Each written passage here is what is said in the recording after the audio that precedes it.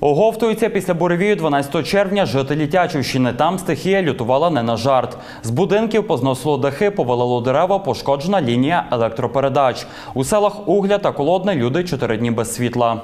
На сьогоднішній день ми маємо там, де є повністю знесені дахи, це є 60 будинків, і частково це є 429 будинків на сьогоднішній день.